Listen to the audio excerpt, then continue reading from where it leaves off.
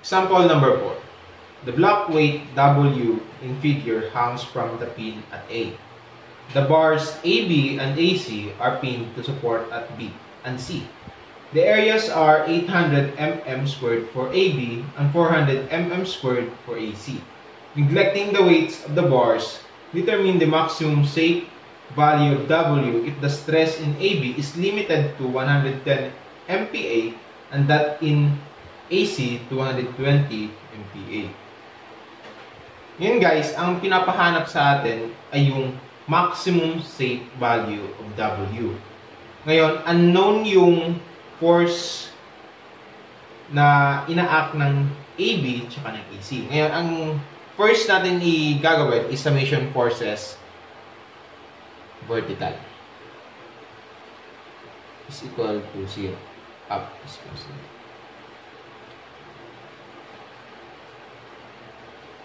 AB sine 40 degrees plus AC sine 60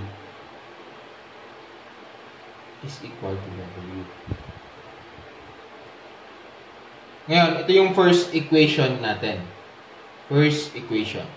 Ngayon, summation forces horizontal is equal to 0.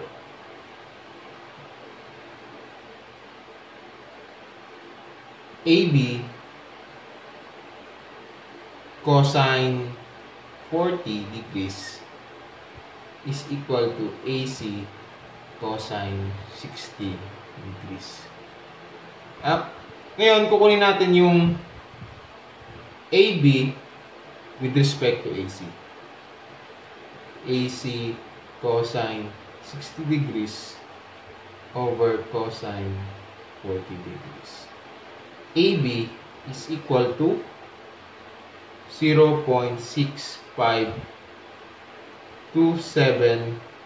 AC. Ito yung magiging equation 2 natin. Ngayon, pwede natin i-substitute yung equation 2 sa equation 1 para makuha natin yung AB in terms of W and AC in terms of W.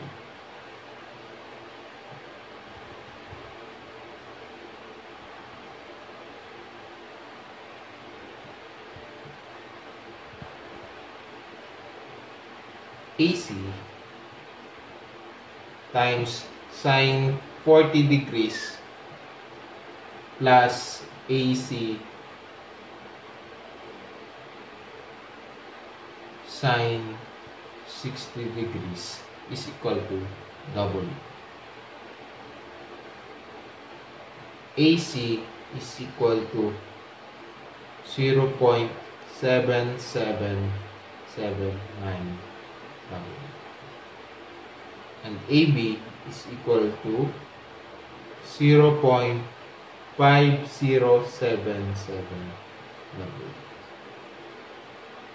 Ngayon, nakuha na natin yung AC tsaka AB in terms of W. Sa next video naman natin, itatry na natin hanapin yung maximum safe value ng W.